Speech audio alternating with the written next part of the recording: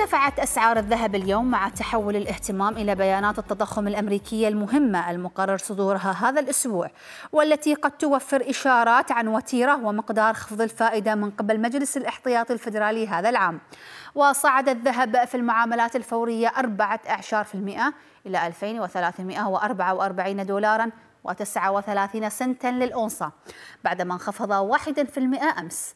وزادت العقود الأمريكية الآجلة للذهب ثلاثة أعشار في المئة إلى 2350 دولارا للأونصة